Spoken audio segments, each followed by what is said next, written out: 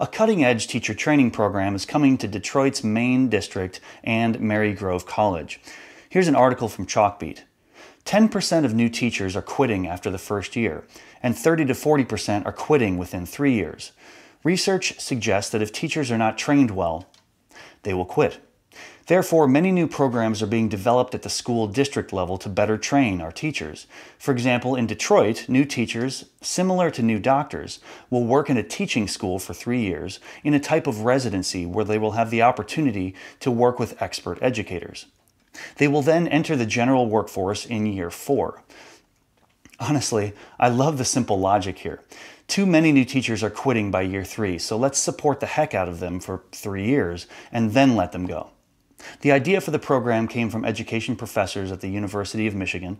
This new teaching school will open on the campus of Marygrove College, and it will technically be a Detroit public school. Now, many districts are moving in this direction in order to combat disastrous teacher turnover. I did an episode recently about Denver public schools. They are requiring their new teachers to spend one year as an associate in a high needs school. So this is Detroit's experimental program. For a teaching school like this to work, the most critical detail is having true experts as the mentor teachers. So who chooses these mentors? How are experts identified? These are the important questions because it's all about the people. If they get world-class educators in there to mentor our new teachers, then this will probably work really well. So here's what would be exciting to me.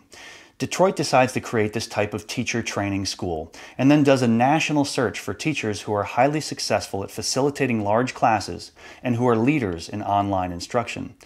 Once they find these expert educators, they pay them extremely well to be these mentors. If our new teachers spend three years learning from these experts, it will aptly prepare them for the future of education and will likely keep them in the profession.